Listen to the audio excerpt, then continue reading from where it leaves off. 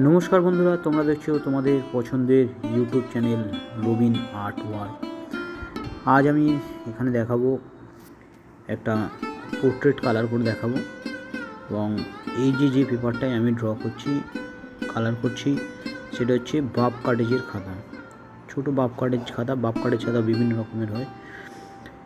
তো আমি বাপ কাটেজের খাতার মধ্যে প্রথমে ড্র করে নিচ্ছি। ড্র করে করার পর প্রথমে জল দিচ্ছি। জল দেওয়ার পরে স্টেপ বাই স্টেপ কালারগুলো ছাপাবো। তো তোমরা আমার সঙ্গে থাকো এবং পুরো ভিডিওটা দেখতে থাকো। দেখতে থাকলেই বুঝতে পারবে যে কীভাবে কীভাবে আমি প্রসেসিং করে কালার করে এই পোর্ট্রেটটা করছি। তো আমার সঙ্গে থাকো এবং পুরো ভিডিওটা দেখতে থাকো।